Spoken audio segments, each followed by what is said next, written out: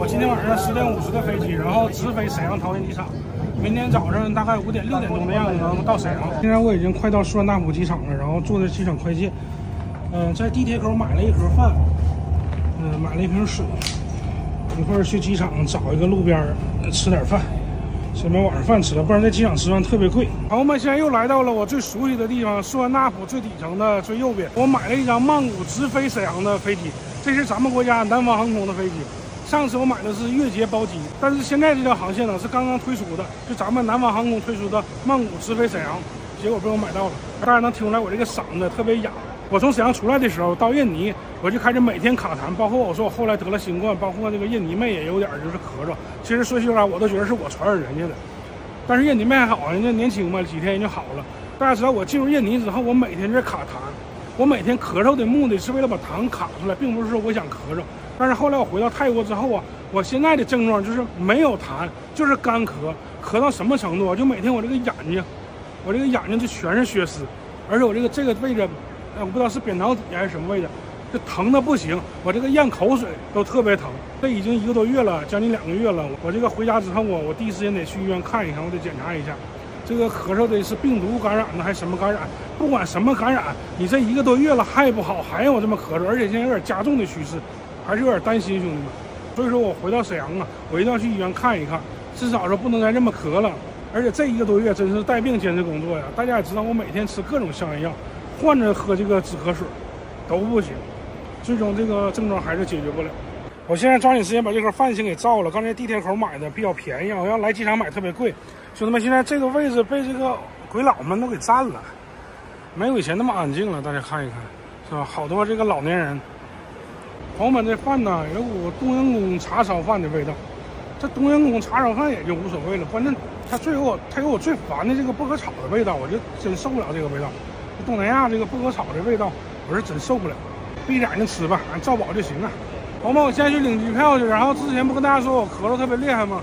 刚买了几袋这个蜈蚣丸，合着回去吃，看一看，据说疗效很不错。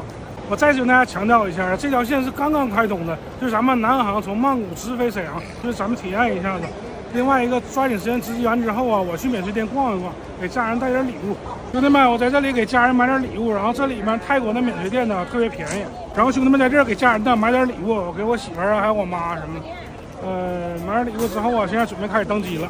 因为曼谷的免税店呢确实挺便宜，而且大家知道曼谷这个，而且大家知道泰国卖欧莱雅特别便宜，知道吧？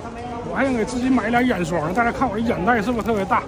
在那边紫熨斗大瓶装的，好像是六十五毫升的，打完折才合两瓶才合五百块钱，太便宜了，兄弟们！我准备自己再买个眼霜，一会儿溜达溜达，然后准备开始登机了。我有点来晚了，都没有人了，就剩我了，大家都上飞机坐去了。哇，应该挺长时间的。啊，好的，好的，好的，谢谢。哎，你说，谢谢啊。这些登机的时候啊，都已经没有什么人了。我基本上不说最后一个，差不多少了。那说明这趟飞机啊，客人不多，根本坐不满。大家看一下，呃，车基本基本上一半还没有坐满。今天晚上我将飞行五到十个，大概六小时。呃，沈阳时间早上五点五十，大概六点到达沈阳桃园机场。累，鞋都没 有袜子啊，兄弟们，这还是光脚呢。然后衣服也没有。大家知道我出来的时候，你就挺遭罪的，被冻的。好了，兄弟们，啥也不说了，我就开始准备熬这一宿了，熬到明天早上。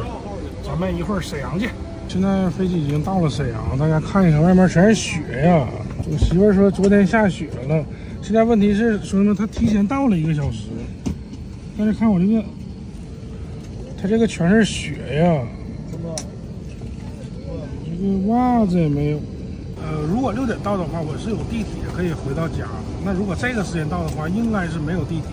那没有地铁，大家我之前跟大家说过这视频，我从这里打车到我家，就是三十块钱这个费用，那很多司机都不愿意揽，所以说我也懒得找这个麻烦，就没有这个必要。就是大大家就是说你好我好大家好就完了，但现在没有办法啊，而且大家也看到了，我这连袜子都没有，那么就只能说最后选择打出租车。兄弟们，我这个现在已经出了机场，后面那哥们儿我以为是黑车呢，问我去哪儿。我说你黑车，他说不是黑车，要出租车。我说你打表，打表。地铁。一出门问我你去哪呀，哥们儿？我说我上浑南呢。那你浑南，我这道滑下雪，呢不行，走不了。我说我说大哥，我说这现在不说这个沈阳那个交通局管的还挺严的吗？这这打击这些事儿，怎么还敢干这事儿呢？大哥没搭理我，直接回头走了。反正我也理解兄弟们这个事儿。我看出租车在哪？兄弟们，我现在到这出租车的点儿啊，看看梅儿姐打出租车，混南走不他？走的是吧？我上混南，哥们儿能走啊？不不是，刚才那里头的不走，哪里啊？那里头别相信人是骗子，是黑车啊。骗子，这是找警察报警。好嘞好嘞，谢谢哥们儿啊！哎，现在已经到家楼下了啊！我这个外面下着大雪，没有办法，我这还没有鞋呢，兄弟们，然后好冷啊！家里可能还没都起床呢，我先找地儿先吃点饭吧。吃点饭，估计六点多家里都起床了。